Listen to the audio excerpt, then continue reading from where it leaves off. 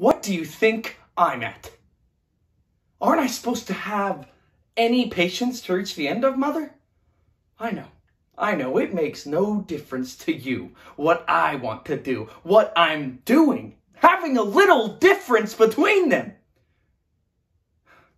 Do you think, do you think I'm in love with Continental Shoemakers? Do you think I'm crazy about the warehouse?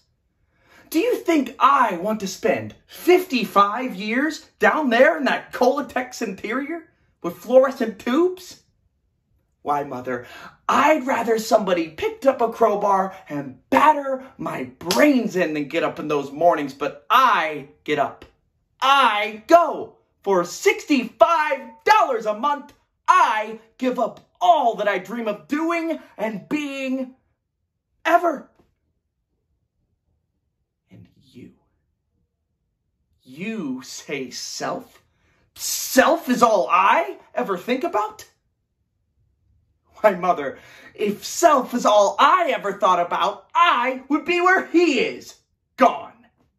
As far as the farthest system of transportation takes me. I'm going to the movies.